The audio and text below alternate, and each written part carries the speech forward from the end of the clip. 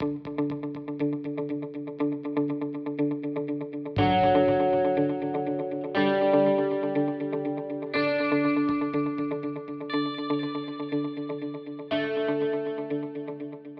morning, everyone. Um, Stephen Davis. I wear two hats, but they're actually increasingly more like one hat. So I, I work with C40 Cities as a city advisor to the City of Cape Town. Um, but I'm also sort of a staff member in the Sustainable Energy Markets uh, Department, where a lot of where all of the, the sort of climate change, uh, particularly the mitigation work, is is being driven from within the city. Um, so feel quite uh, comfortable standing. I also used to work for ICLEI on similar work a little while ago, so it feels like a, a sort of homely space to be in.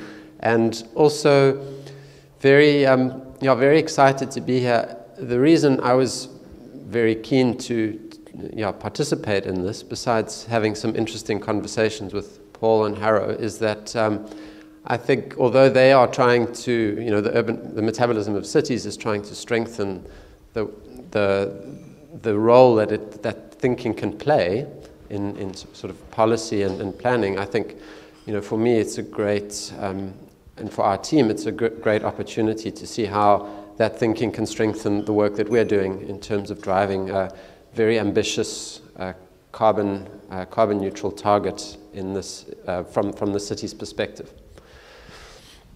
So, as Harrow mentioned, you know, the city has uh, committed to a, a target. Uh, the target is in line with um, what C40 is uh, promoting. It's carbon neutrality for all of its cities by 2050.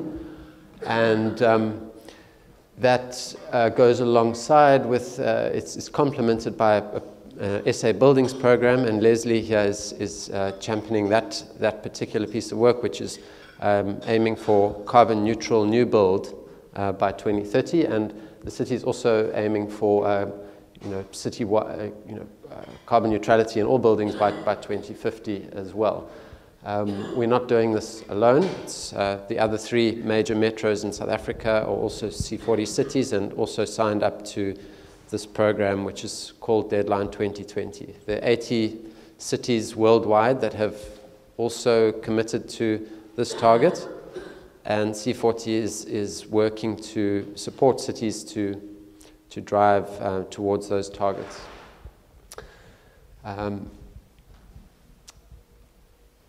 yeah, so for this audience, I don't even think it's worth saying, well, why are we going for, for carbon neutrality? But um, we are seeing that, you know, the, the, idea of carbon neutrality is actually not really about, about carbon at all. Um, although I don't know if there's any actual proof that you know, carbon neutrality will produce that kind of city, I think intuitively most people feel that, that it is. And we are also, part of our role is, is to try and sort of strengthen the evidence base that's showing if we lower carbon, if we reduce it to zero, we are creating a more equitable city, a more inclusive city, a more sustainable city, um, and a more livable and safe city.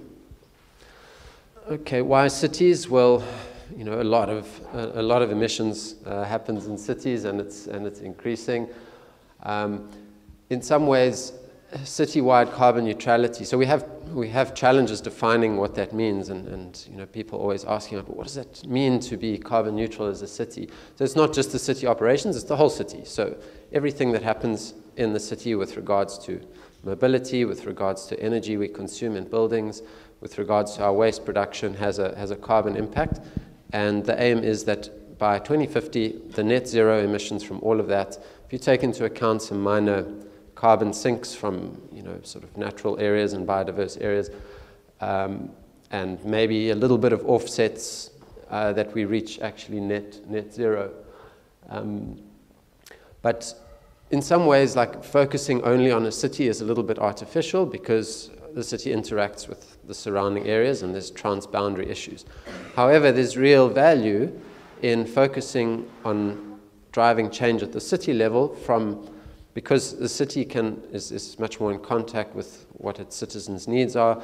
It is a strong force for planning in the local uh, the local area, and it drives policy. It produces plans. So who better to, to drive the change than, and, than the city? That doesn't mean we necessarily, as a city, have to do it all, but we need to create the right environment for that, uh, that shift to happen. Okay, so how are we doing this? Well, by signing up to the Deadline 2020 program, a lot of research uh, went into what it would take for the major cities in the world uh, to, to avoid this 1.5 degrees, now that Harry was just talking about in the IPCC report. And uh, that means that, you know, essentially carbon neutrality for all the, all the major cities by, by 2050. And so the city has committed uh, at a political level to that. Um, there was some research that went into, well, what do you focus on if you want to do that? Um, and a major part of it, uh, well, so that comes from a, a, report called Focused Acceleration, which McKinsey put together. And they said uh, they did a whole bunch of research looking at different city types uh, there were, I think, six city typologies in, that they looked at, and this shows more or less the, the, uh, wh- where those emission reductions will come from. So 60% is from our energy consumption, um, you know, more efficient, more efficient energy use, but also cleaning up the energy supply. Um, and the, those bars show the ranges for the different typologies. For some cities, they have to work more on that. For some cities, they have to work less on that, depending. You know, so for South African cities, we're quite carb- carbon dependent because of our electricity supply. So for that, we, we actually have an opportunity to reduce emissions. You know, that, uh, a big opportunity to reduce emissions uh, by cleaning up the energy supply. Um, 30% of those reductions will come from what we do about mobility. And the, the terminology there is moving to next generation mobility, which is either you know, better planning of the city so people don't need to travel as much. Uh, that's the spatial planning work that uh, and the city is doing, um, has some good work going on in that space. It's um, about improving public transport, about making non motorized transport opportunities more uh, more accessible and safer and, and you know, more appealing. And then whatever's left that we have to do by motorized transport, that it needs to be cleaner fuels. So either you know, um, sort of electric vehicles or yeah, sort of clean fuel vehicles. Um, and Mary, also in our team, also has, is working on uh, uh, this sort of framework for, for that in, in the city as well, like electric vehicles particularly. And then the, the last 10% is the um, waste management. So that's about where 10% of the reductions can come from. And that includes wastewater as well. Okay, um, the cities, you know, I work for C40. I think the city's been doing climate change work a lot longer than C40's even been around. And uh, in 2015, there was a a Sustainable Energy and Climate Action Plan and the Energy 2040 goals, which made some commitments. But that was before um, you know, most of the world woke up and realized that actually you know, we need to be very ambitious. You know, and there was still at that point a view that developing countries, cities still need to develop, and there's still space for us to you know, increase our emissions as long as we start working to reduce them. That's, that's very quickly in the last few years has turned out to no longer be sufficient. So where we were headed, which, uh, you know, with all of the, the sort of measures and actions that were, were put in the plan or that, that, were, that, that were come up with in, in 2015, the sort of bottom green or orange dotted line there, we now need to sort of radically um, reduce that. So we're looking now at, at you know, how to do that. And where we started was um, internally we had a, a workshop that, uh, where we kicked off this program internally in the city, and that happened last year in October, I think, November. And what we did there is we got all of uh, senior people in the city together, and we said, well, let's create a vision, firstly, for what is this, what is a carbon neutral city, what does a carbon neutral Cape Town actually look like? And this is an infographic which basically shows, you know, everything that um, that we needed to do and, and also in an appealing way. So it was quite challenging because we had to have conversations about, well, you know, what sort of neighborhoods do you live in? Con- conversations about how integrated is our society, you know, compared to how it is now.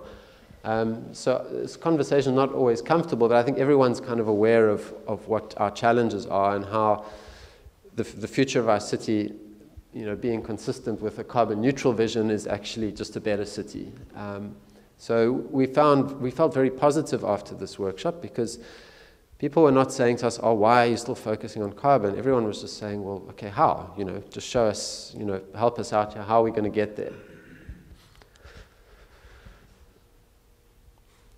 Um, already mentioned this in the focused acceleration, but it just explains again what, um, you know, what, uh, what, what we're going to be focusing on the development of our action plan. Um, and I've already mentioned the system boundary issues, you know, why we, we're adopting a citywide focus. Because, of course, uh, the city has control over a certain amount of things, it can influence other things and it has broader concern about other things. So, um, you know, we, we are having a lot of conversations with uh, our colleagues in the city about, well, what, what can we directly influence and control through policy and through in, uh, the infrastructure that we build, but then what role can we play in advocacy and, um, you know, what are some of the sort of broader things that are maybe further away from our control, things like what residents consume and the products that they consume and where those products come from, uh, which we have possibly you know, less, less influence or control over, but still a concern because it affects you know, I guess the metabolism of our city. Um, a lot of the work that we are also sort of focusing on is how do we, we mainstream the target within the city. So considering spatial planning, considering land use, um, the city's catalytic sites, and sorry, the, it's not so visible on there, but transport planning and, and, operations. And all of this, there's a whole bunch of steps that need to happen in order for this to be absorbed into the city so that it's not just always an additional thing, something that the environmental, you know, and the climate change people are working on, but actually it's, it affects every decision that's made um, about new projects, about strategies, about plans. Um, and yeah, very happy that our strategic policy unit colleagues are also in, in, in, the room today because we're also working with, with them and um, yeah, pulling in the same direction when it comes to um, when it comes to succeeding with this work. Uh, we're not doing this alone, and increasingly we're going to be reaching out more and more to uh, the, the, citizens and to business and to NGOs and the research institutions. And uh, we also have the support of people like uh, groups like Sustainable Energy Africa and, and, C40 through all of the, the various networks. Um, and it's really great to be in this program with the other major metros because there's some changes that, you know, we say, well, only if national government implements X, Y, Z policy. Uh, we are together uh, for the four metros, we're actually able to advocate together. So if the four metros are all sort of committed to the same thing, we feel that actually puts a lot of pressure on our sort of local, our provincial governments, but also our national government to kind of to get on board with that. So we, I mean, these targets are much more ambitious than what's what's currently in the national plans and what the, what the, in, the nationally determined contributions are uh, from the South African government. Um, but we're also saying that it's not just uh, because of the carbon, but it's because it's actually going to be better for, for our city's develop, development if we commit to such targets.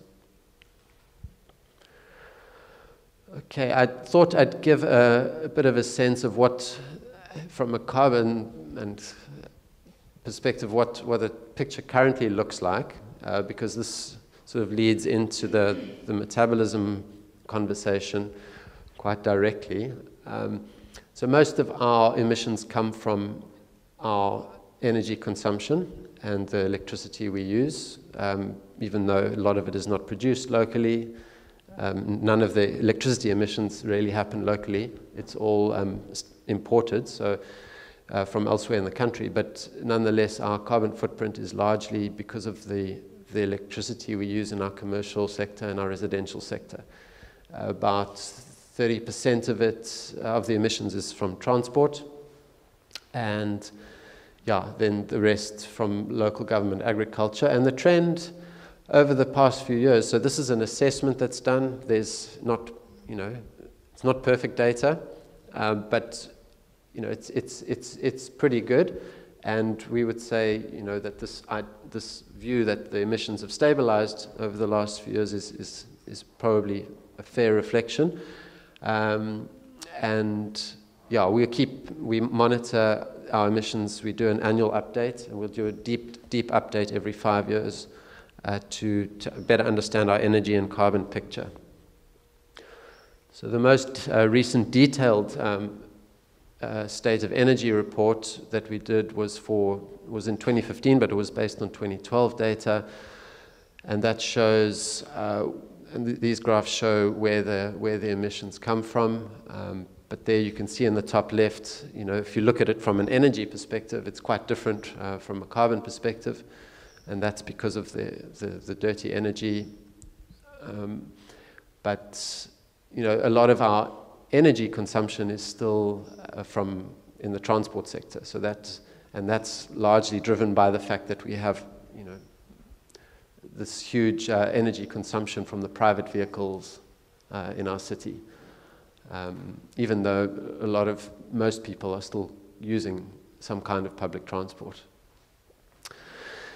Um, yeah, and then also when you start so a lot of the one of the requirements of the action plan is that it's got to be inclusive. You know it's not just yeah it's got to be something that addresses inequality and unemployment and equi- you know equity within the city. And when you look at the, the energy consumption picture down below you can see you know that most of the energy that, that's consumed is actually by by the high income. And so there's a you know while you want to reduce the emissions there you also we're also aware that there's a lot of people living in energy poverty. Um, so, how do you address both at the same time and uh, drive your emissions down? And those are the kinds of um, we, we're developing projects and initiatives which are aimed at addressing both. Um, so that's one way of looking at at carbon and emissions, but increasingly cities are needing to look at their consumption based footprints as well. And consum- the, the, the consumption based emissions is, is a different way of, of looking at emissions, and it looks at you know, how much you're importing and exporting as well. So, and, and this is increasingly relevant in, in, in the developed countries because cities like Paris, they've actually included consumption based emissions in their plans because they recognize that you know, consumption was always this elephant in the room. You know, you can clean up your, your energy system and you can recycle everything and you can have a circular sort of economy in, in, through many lenses. But if you are, you know, importing a lot of products from the developed world, you're basically just exporting your emissions. So you need to also consider what, you know, try and localize your, your production uh, more and more and also, you know, not just believe that you can you know, just drive, drive the economy up by, by having more people consume more things. Um, so, yeah, and I just, I didn't want to sort of spend too much time on, on this. We didn't do this. Uh, the work was done by C40. It's also based on, on very sort of broad assumptions. Uh, it's quite difficult to get the data to do a, a, very detailed consumption-based emissions inventory. But you can see there like in electricity features, but um, you know, yeah, of course, the meat, uh, you know, meat consumption is, is a big contributor as well, and that's why, you know, we're seeing more and more people say, well, we actually just need to eat less meat, and that would make a huge impact on our overall carbon footprint. Um, if you look at consumption-based emissions, was, this is for 2012, it's about 30, 30 million uh, tons of CO2, whereas the um, the sector-based emissions was around 22. So that means that we're actually sort of a net, um, a net importer of, of emissions if you look at the whole sort of consum- if you include consumption as well. And I'm sorry you can't see the, the details there, but um, yeah. Also, don't know how much more. How are we doing for time? Sort of Five minutes, okay. All right. So I won't, I mean, I can show you some more details of that for people who are interested. Uh, but where we are at the moment, so we are doing, uh, we have an emissions model and we are looking at where can the required emissions reductions come from and what are the sort of policies and measures that we can put in place, uh, taking into account what's happening at the national level. So where we were headed is the sort of top line. Okay, if we just did nothing, business as usual, we just our emissions would just keep going up until 2050. If you include what's happening at a national level, so the new integrated resource plan, which lays out what our electricity mix is going to look like um, towards 2050, then already our job is made a bit easier because we know the government is committed to having more renewables and less coal. Still not as ambitious as it could be, um, and I guess there's political reasons why they can't just say no more coal, and, and also social reasons. But um, yeah, we think that, that you know, we have a good chance of, of that actually turning out to be quite different uh, with various pressures. And we also can see that we, there's still some gains to be made from private building energy efficiency, from our own, from generating our own electricity within the city boundary.